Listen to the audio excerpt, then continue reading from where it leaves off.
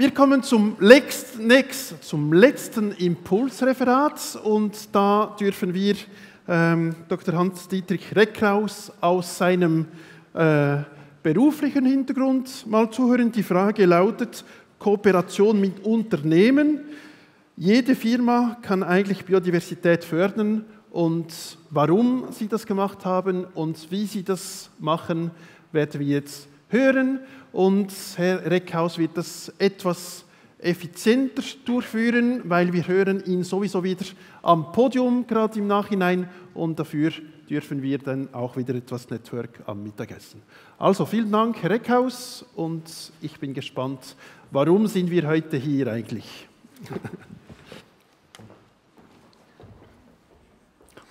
Ja, guten Tag, verehrte Damen und Herren. Gerade ich darf Ihnen darüber berichten, was Unternehmen, was die Wirtschaft für Biodiversität tun kann. Gerade ich, der seit über 25 Jahren ein Unternehmen führt, das sich mit der Beseitigung von Insekten beschäftigt. Und ich sage es wirklich ungern, ich produziere Insektentötungsprodukte. Jeden Tag viele Tausende. Aber bitte, bitte geben Sie mir eine Chance. Was kann die Wirtschaft für Biodiversität leisten? Die Wirtschaft hat sehr viele Gestaltungsfelder. Die Gestaltungsfelder sind artenreich, sie sind Vielfalt. Aber bitte lassen Sie mich auf drei äh, mich heute, nach, heute Mittag konzentrieren: auf das Geschäftsmodell, auf die Mitarbeiter und auf Gebäude und Flächen. Das Geschäftsmodell sehen Sie hier, überstrahlt alles und das Geschäftsmodell, das sind die Produkte und Dienstleistungen, die ein Unternehmen hervorbringt. Und ich denke, da ist der allergrößte Hebel. Denn es sind die Produkte und Dienstleistungen, die uns Industrie und Handel jeden Tag anbieten und die, die eben die Umwelt am allermeisten zerstören. Industrie und Handel generieren uns Bedürfnisse, die völlig unnötig sind und uns auf Kosten der Umwelt diese Erde einfach belasten. Der ökologische Fußabdruck der Schweiz liegt bei 2,8. Wir verbrauchen also mehr als 1,8 mal mehr Erden, als uns überhaupt zusteht. Und wir lassen uns hier jeden Tag auf ein gigantisches Experiment ein, von dem wir heute wissen, dass es scheitern wird. Und die Wirtschaft ist dort ganz dominant und verantwortungsvoll, müsste sie eine, äh, umschwenken. Und da zentral steht einfach das Geschäftsmodell im Zentrum. Da muss die Wirtschaft zeigen, was sie kann. Dann kommen die Mitarbeiter, nichts geht ohne Mitarbeiter und ich denke, die Unternehmen haben die Verantwortung, die Mitarbeiter für Nachhaltigkeit zu sensibilisieren und sie auf der Reise für mehr Nachhaltigkeit mitzunehmen und sie zu Mitgestaltern zu machen. Und schließlich, das ist der kleinste Kreis, gibt es natürlich Gebäude und Flächen, die wir heute sehr einfach für die Biodiversität nutzen können. Um ganz konkret zu werden, möchte ich Ihnen diesen Dreiklang an meinem eigenen Unternehmen äh, präsentieren. Das heißt, ich möchte Ihnen zeigen, was wir in den letzten sieben Jahren gemacht haben. Ja, wie ich schon sagte, ich bin Biozidhersteller. Das sind Insektenbekämpfungsprodukte für den privaten Gebrauch im Haushalt. Insektensprays, Mottenpapier, Ameisen, Köderdosen, all das, was Sie brauchen, um diese unnützigen Eindringlinge zurückzudrängen. Ähm, und das machen wir seit über 60 Jahren. Ich führe das Unternehmen in zweiter Generation. Was ist passiert? Warum macht mir das nicht wirklich mehr Spaß? Ich bin äh, 2011, also vor acht Jahren, auf die Idee gekommen, eine insektizidfreie Fliegenfalle zu entwickeln. Die ist wirklich toll. Und ich wollte die ganz groß machen und habe, weil wir keine Werbemillionen haben, wir sind KMU, wir haben 60 Mitarbeiter, äh, habe ich die Kunst angefragt, mir eine Vermarktungsidee zu präsentieren für meine Fliegenfälle. Und die Künstler, das sind die beiden Aktionskünstler, Frank und Patrick Rickin aus St. Gallen, sie sollten mir eine Kunstaktion bringen für meine tolle, tolle Fliegenfalle. Aber die beiden verweigerten den Dienst. Hans, hast du jemals über den Wert von Insekten nachgedacht? Ich dachte, wie sind die denn jetzt drauf? Ähm, meine Produkte sind gut, die sind modern, die sind auch insektizidfrei. Ähm, Hans, wir haben lange über dein Produkt nachgedacht. Dein Produkt ist einfach nur schlecht. Es tötet Fliegen. Und auch Fliegen sind wertvolle Tiere. Ich habe das nicht verstanden. Und überhaupt, du musst aufhören mit diesen Tötungsprodukten, du musst jetzt Rettungsprodukte machen. Also wenn du tötest, musst du auch gleichzeitig retten. Äh, es war für mich sehr skurril.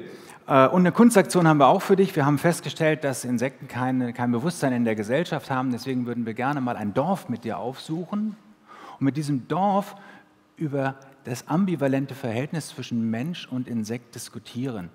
Und am besten verbinden wir das gleich mit einer großen Fliegenrettungsaktion und schicken eine Fliege mit einer Lufthansa-Linienmaschine in die Wellnessferien, weil die auch Fliegen mal Wellness verdient haben. Es war völlig skurril. Ich habe das abends meiner Frau erzählt und die hat auch gesagt, Hans, das ist völlig verrückt, das kannst du nicht machen. Aber diese Logik, dass wenn ich töte auf der einen Seite, dass ich dann auch retten muss, die habe ich sofort verstanden. Wenn ich eine Scheibe einschlage, dann muss ich mich auch darum kümmern, dass diese Scheibe wieder in Ordnung ist. Und meine Produkte haben Milliarden von Insekten auf dem Gewissen. Und deswegen fand ich diese Kunstidee, dieses Fliegenretten da irgendwo, das fand ich ganz gut. Und ich habe zwei Tage später dann die Künstler angerufen und habe gesagt, wir realisieren. Wir machen das. Ja, und dann haben wir monatelang mehrere Nachmittage äh, im Kunstatelier gesessen und haben diese verrückte, nur vordergründig verrückte Kunstidee geplant. Und die beiden haben immer gesagt, und nicht vergessen, Hans, ne? du musst diesen Schritt zwei gehen. Du musst diese Rettung integri integrieren in dein Geschäftsmodell. Wie soll das gehen? Und die beiden sind weitergegangen. Sie haben, sie haben gesagt, nimm doch einfach einen Geldbetrag pro Produkt und stecke diesen Geldbetrag in weitere Rettungsaktionen mit uns.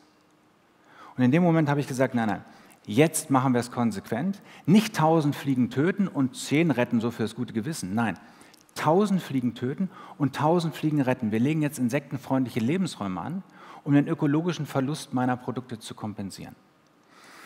Ich war total begeistert. Gleich am nächsten Morgen habe ich meinen Biologen angerufen, der auch nicht schlecht staunte.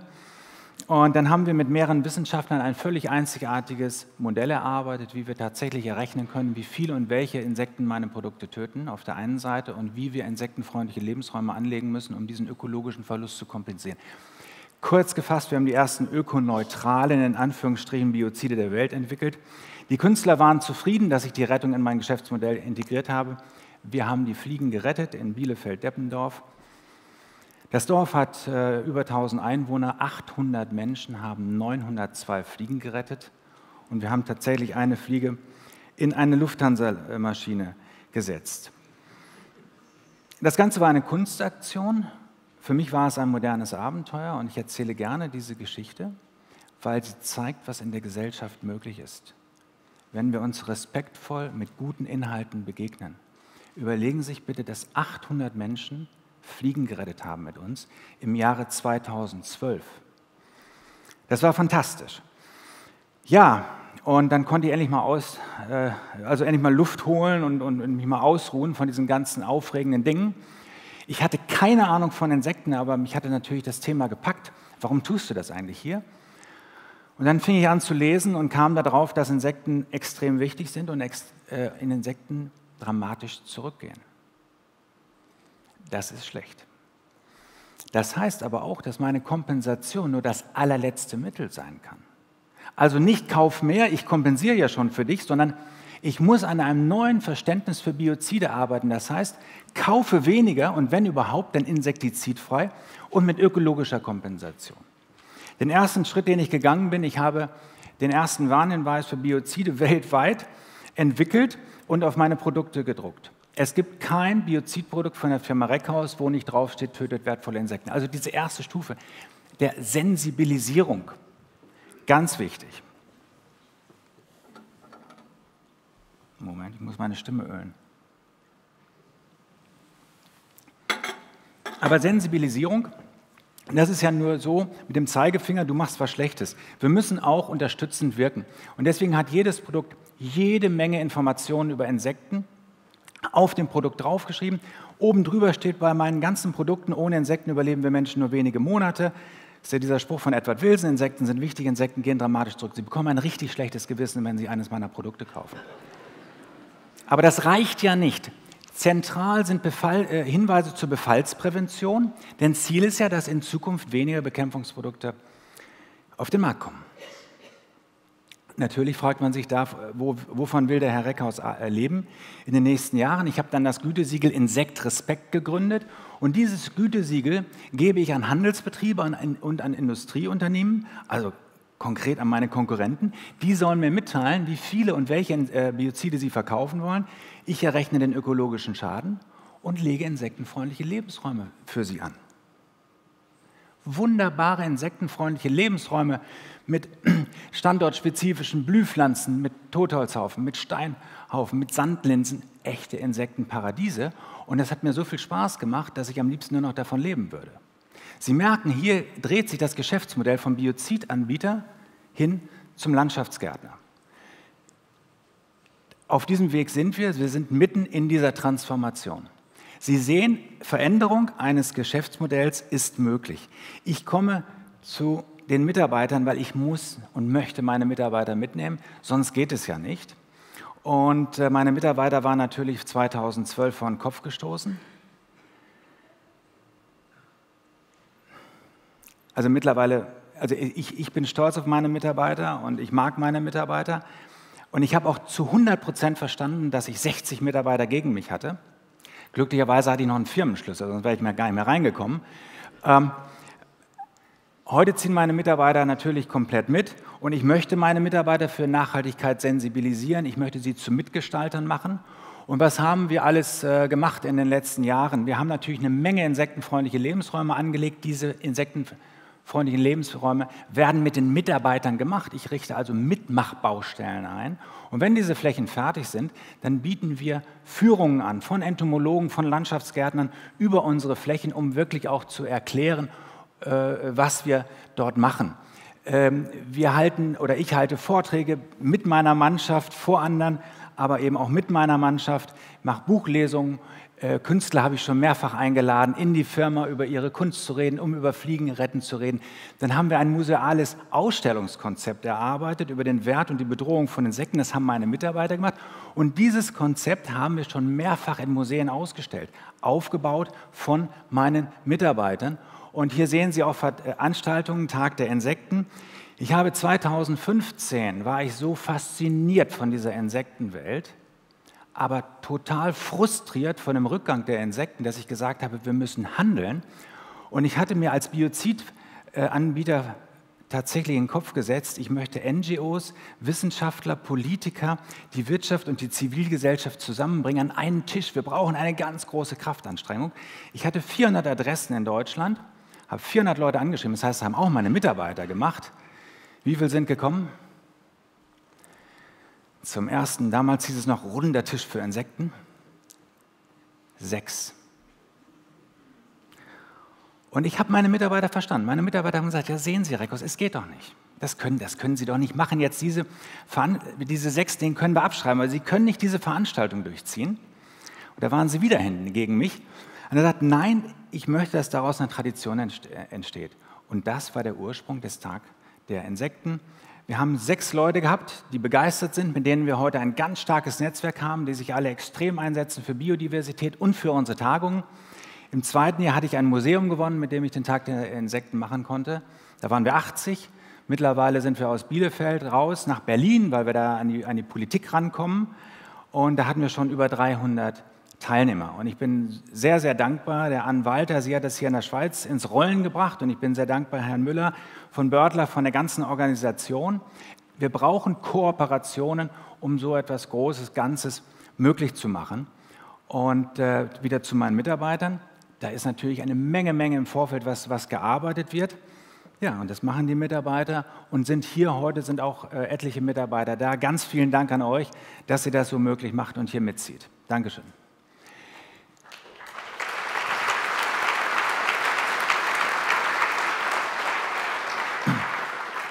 Ich komme schon zum letzten Gebäude und Flächen. Die meisten Unternehmen haben Gebäude und Flächen. Ja, die kann man natürlich wunderbar nutzen. Ein Beispiel von unserem Schweizer Geschäftssitz. Da sehen Sie ein Flachdach. Also ich kann ja Flachdächer. Meine Frau leidet immer drunter, wenn wir irgendwo durch die Gegend fahren. Sie müssen mal gucken, wie viele Flachdächer nicht begrünt sind. Es ist ja, ist ja verrückt. So, ähm, so sah unser Flachdach 2014 aus. Und so sah es schon ein Jahr später aus, ein Insektenparadies. Und in Bielefeld an unserem Stammsitz ich habe die Mitarbeiter schon so sehr strapaziert heute, da bin ich auch nicht auf, äh, äh auf Zuneigung gestoßen. Hier sehen Sie, das ist kein tolles Foto, aber das sind Parkplätze, da stehen jetzt keine Autos drauf. Ich möchte auch keine Parkplätze mehr haben. Ich fördere den öffentlichen Verkehr, ich fördere Mitfahrgemeinschaften bei meinen Mitarbeitern. Man kann auch mal das Velo nehmen, man kann auch mal zu Fuß gehen. Parkplätze bei der Firma Reckhaus in Bielefeld, wie sehen die heute aus? Genau, insektenfreundliche Lebensräume. Man kann ja Parkplätze auch zurückbauen. Und da kann man einfach sehr schön sehen, was kann die Wirtschaft leisten. Mit einfachen Mitteln können wir hier sehr viel für die Biodiversität bringen. Ich komme schon zum Schluss.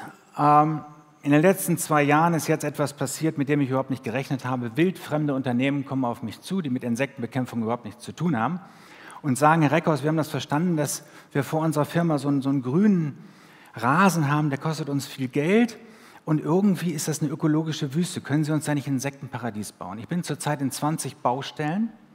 Ich habe jede Woche eine Anfrage von Unternehmen in der Schweiz, aber auch in Deutschland, um Flächen zu bauen. Auch für große Firmen wie Rittersport oder Heidelberg Zement. Und äh, ich arbeite mit externen Landschaftsgärtnern zusammen. Und jetzt können Sie sich vorstellen, was ich jetzt vorhabe, was der nächste Schritt ist ich möchte tatsächlich dieses ganze Unternehmen zu einem Landschaftsgartenbaubetrieb umwandeln.